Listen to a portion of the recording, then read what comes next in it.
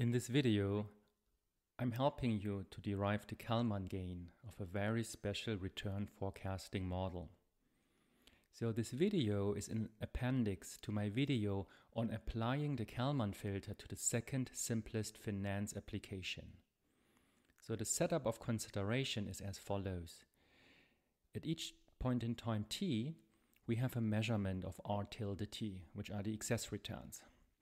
Now we assume that they consist of two parts, mu tilde t and epsilon t. Now epsilon t is a Gaussian shock with mean zero and variance sigma square. That's the measurement error.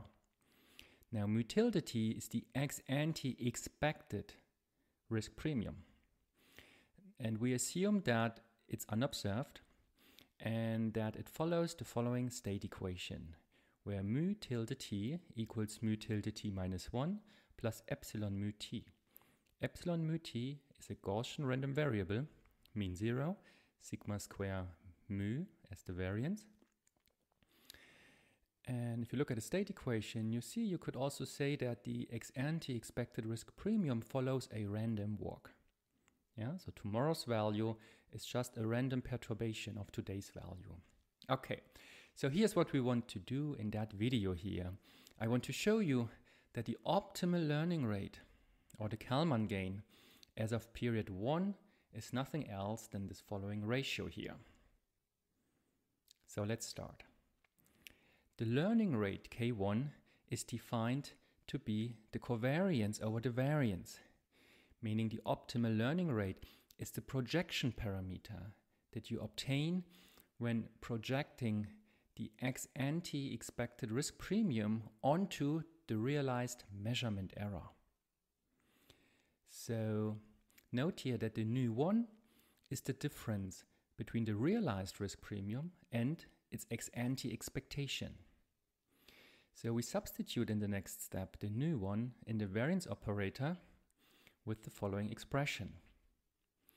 Therefore, the term for K1 changes to the conditional covariance over the variance of the spread between the realized risk premium and the ex ante expected risk premium. Now note the conditional variance conditions on F0 information. So does the conditional expectation. Therefore, there's no randomness coming from that conditional expectation. We can therefore rewrite the optimal learning rate K1 as the covariance of mu1 tilde nu1 divided by the conditional variance of r1 tilde.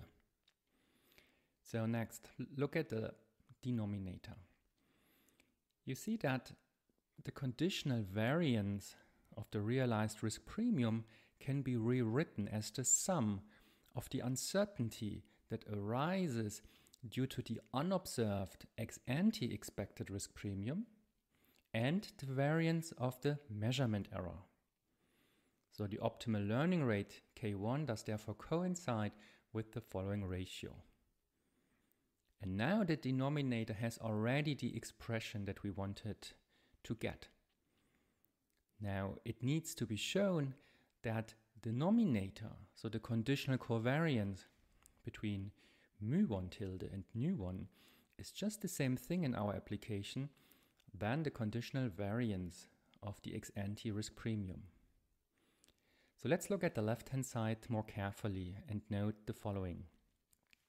First, nu1 is linear in the realized excess return. Hence, we can rewrite the conditional covariance of mu1 and nu1 as the conditional variance of mu1 tilde with the spread of the realized excess return in time 1 minus its conditional expectation. Now the conditional expectation conditions on the same information than the conditional covariance, so it's non-random. Doesn't create any co-movement. So we end up with seeing that the conditional covariation just boils down to the conditional covariation of the ex ante risk premium with the realized risk premium.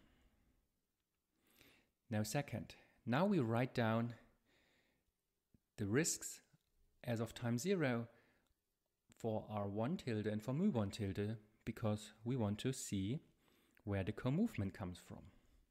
So let's start. Now the realized excess return in time 1 conditional on f0 is the sum of two Gaussians. The first Gaussian arises from the ex ante risk premium because its location is unknown or its value is unknown and we know the mean, we know its variance.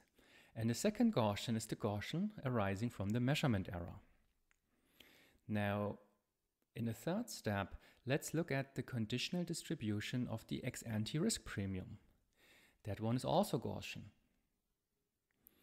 Now, therefore, finally, if you ask yourself, what is the reason for covariation of the last equation and the second last one, you note that it's the randomness that arises from not knowing the value for the ex ante expected risk premium.